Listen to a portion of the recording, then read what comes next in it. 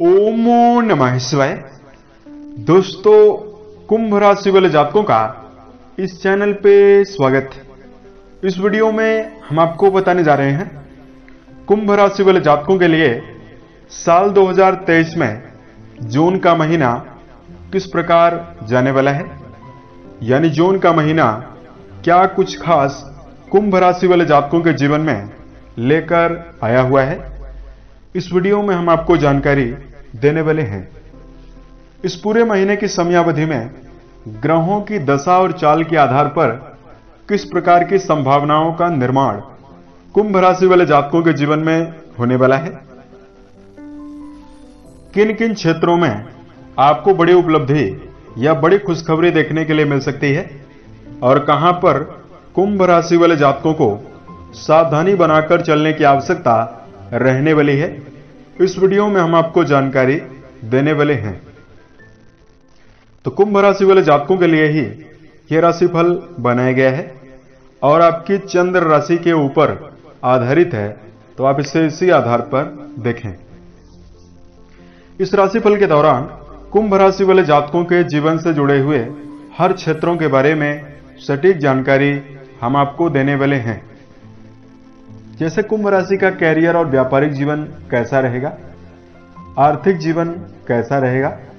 पारिवारिक जीवन, प्रेम संबंध, स्वास्थ्य एजुकेशन लाइफ और कुंभ राशि वाले जातकों के लिए कुछ विशेष और धार्मिक उपाय। जिसको यदि आप करते हैं तो आपको बेहतरीन स्थितियाँ देखने के लिए मिलेगी और कम प्रयासों में भी आपको बड़ी सफलता देखने के लिए मिल सकती है।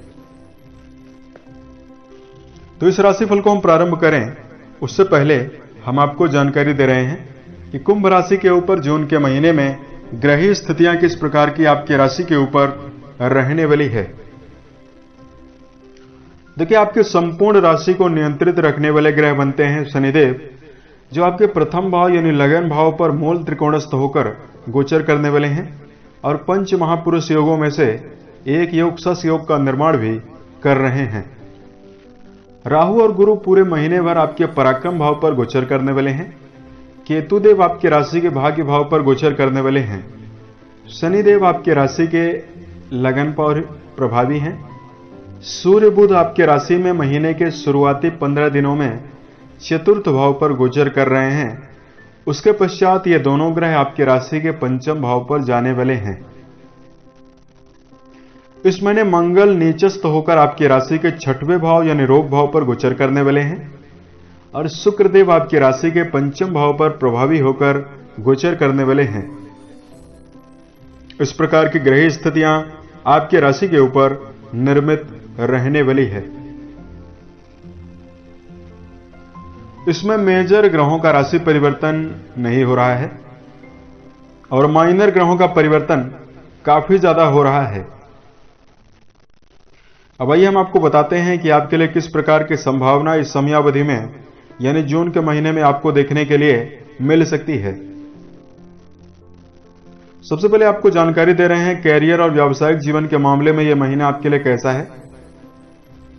देखिए, जहाँ तक बात करें कर्म क्षेत्र का, राशि के दसम भाव से कर्म, व्यवसाय, प्रसिद्धि और मान सम्मान के बारे में विचार करते हैं। आपकी जो राशि का दसम भाव है, जून के महीने काफ़ी ज़्यादा प्रभावी है, काफ़ी ज़्यादा बली है।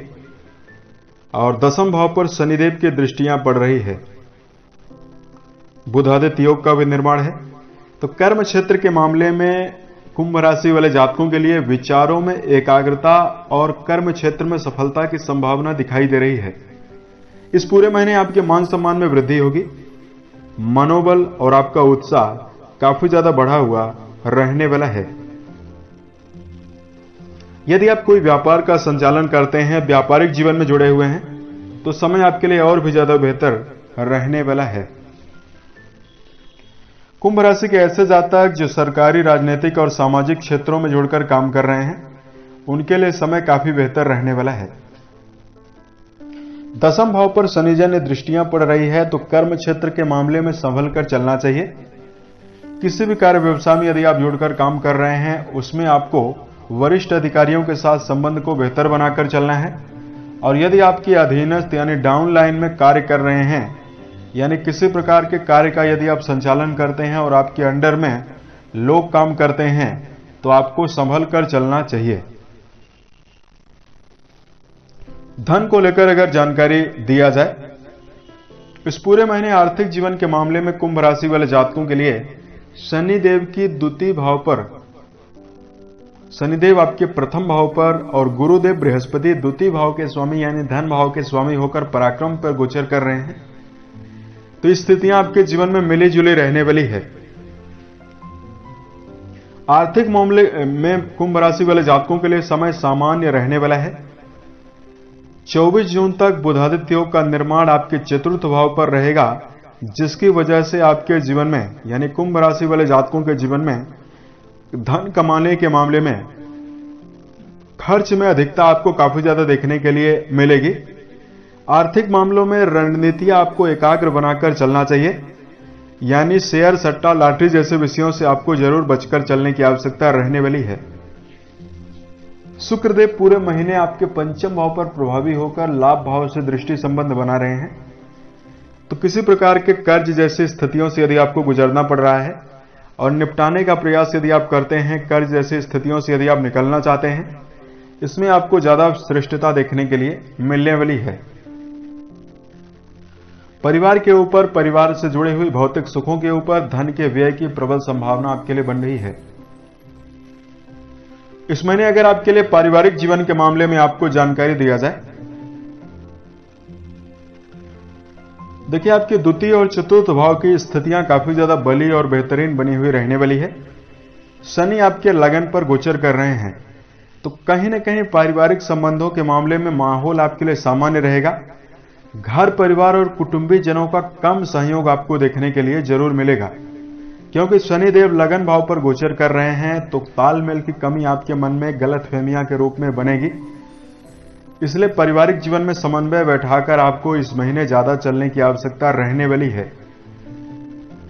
कुंभ राशि वाले जातकों के जीवन में किसी नवीन और मांगलिक कार्यों के आयोजन की रूपरेखा पाँच तारीख के पश्चात यानी पाँच जून के पश्चात बनती हुई दिखाई दे रही है।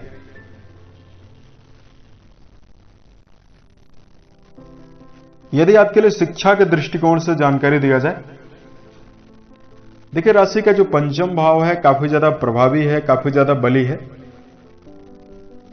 और राशि के पंचम भाव के स्वामी शुभ स्थितियों में रहने वाले हैं।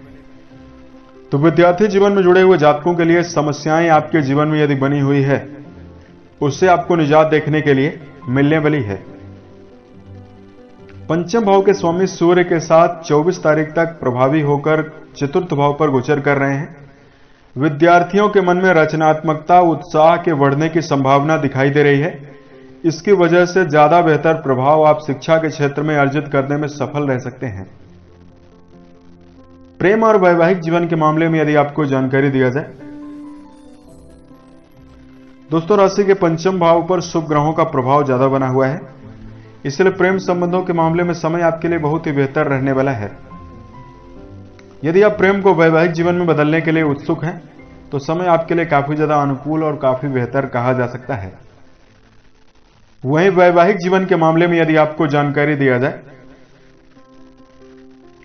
देखिए, पंचम भाव के सप्तम भाव के स्वामी सूर्यदेव आपके चतुर्थ भाव पर गोचर कर रहे हैं। यह स्थिति आपके लिए ज़्यादा बेहतर नहीं है और सप्तम भाव पर गुरु राहु की दृष्टियाँ पड़ रही है। तो देखिए 15 जून तक की समयावधि में यदि आप वैवाहिक जीवन में हैं, दाम्पत्य संबंधों में हैं तो यहाँ पर आपको दिग्गतों का सामना करना पड़ सकता है। पार्टनर की सेहत को लेकर आपको उतार चढ़ाव मिल सकता है। उसके पश्चात आपके लिए स्थितियाँ काफ़ी ज़्यादा अनुकूल और बेहतर बनती हुई दिखाई दे रही है। वहीं अगर आपके लिए स्वास्थ्य के दृष्टिकोण से जानकारी दिया जाए देखिए राशि के छठवें, आठवें और बारहवें भाव से सेहत से संबंधित चीज़ों के बारे में विचार करते हैं।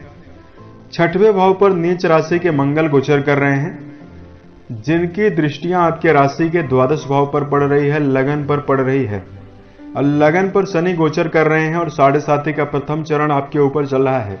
तो सेहत के लिहाज से कुंभ राशि के लिए समय ज़्यादा बेहतर नहीं है। पीठ दर्द, हड्डियों में प्रॉब्लम और पेट जनित समस्या आपको परेशान कर सकती है। इसलिए कुंभ राशि वाले जातकों को यात्राओं के समय सावधान रहना है। सेहत को बेहतर रखने के लिए दिनचर्या को व्यवस्थित बनाकर चलना होगा। खान पान की आदत पर आपको ध्यान ज़्यादा रखने की आवश्यकता रहेगी। अन्यथा पाचन तंत्र से संबंधित समस्या आपको परेशान कर सकती है। मंगलदेव आपके छठवें भाव पर गोचर कर रहे हैं।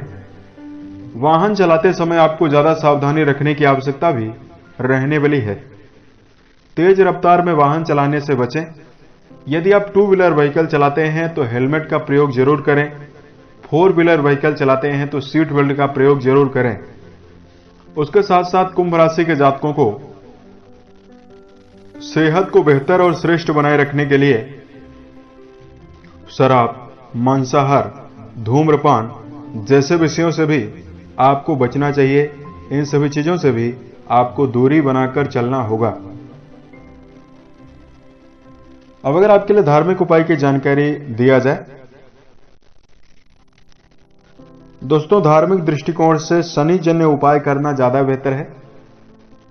इस महीने आपको शनि जन्य मंदिर में जाकर शनिदेव को सरसों के तेल का अर्पण करना ज़्यादा बेहतर है। शनि के मंत्रों का जप करना बेहतर है। ओम प्राम प्रेम प्रोम सम शनिश्चराय नमः। उसके साथ साथ कुंभ राशि के जातकों को सुंदरकांड और हनुमान चालीसा का नियमित पाठ करना अनुकूल और बेहतर रहेगा। इससे आप अपने जीवन में काफ़ी अनुकूलता अर्जित कर सकते हैं। उसके साथ साथ कुंभ राशि वाले जातकों को बेजुबान जानवरों के प्रति दया का भाव रखना चाहिए। यथा उचित दाने चारे का प्रबंध करते रहना चाहिए। तो आपके लिए स्थितियाँ काफ़ी अनुकूल बनेगी और काफ़ी ज़्यादा बेहतर बनने वाली है। उम्मीद है यह जानकारी कुंभ राशि वाले जातकों को बेहतर लगी। यदि आप आने वाले समय में ज्योतिष, धर्म और दैनिक राशिफल से संबंधित अन्य वीडियोज़ को यदि आप देखना चाहते हैं, इस चैनल से आप ज़रूर जुड़ें। ओम नमः शिवाय।